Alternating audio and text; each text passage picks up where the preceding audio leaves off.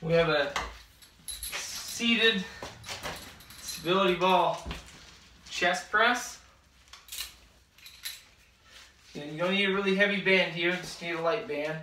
Get your abs nice and tight. And then just press. Because the band is going to pull you back. Don't let your back arch at the bottom. Keep it nice and tight.